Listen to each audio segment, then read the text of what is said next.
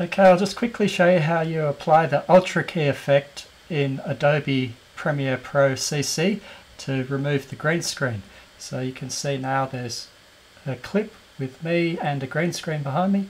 So it's in the effects panel that you find Ultra Key. So click on effects here and I've already searched for Ultra recently so I've got it showing there.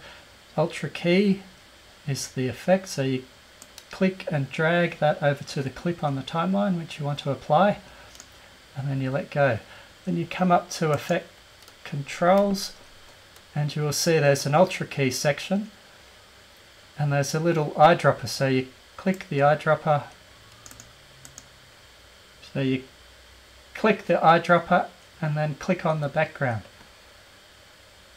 And then as you see the green has disappeared and it's now black. So there are settings in the Ultra Key setup and you can adjust spill suppression and matte generation, transparency, tolerance and all of those things. So quite often I'll adjust the pedestal setting and drag it up. But it's easier to see if you click on the composite and then alpha channel setting. And as you can see there's a black and white view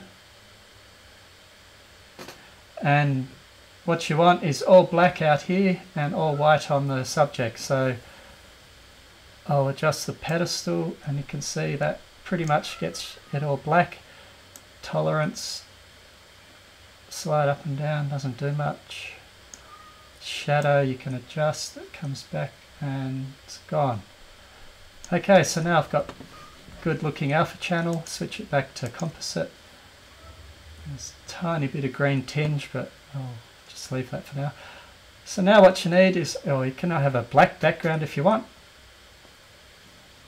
or you can bring in a background, which is mostly what you want to do. So I've got a sunset, which I'll drag over.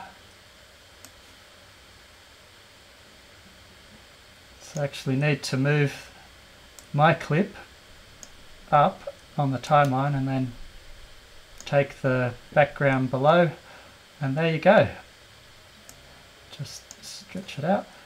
And you now see I've got a background behind me and play the video and you can see the effect. So that's the green screen effect using Ultra Key in Adobe Premiere Pro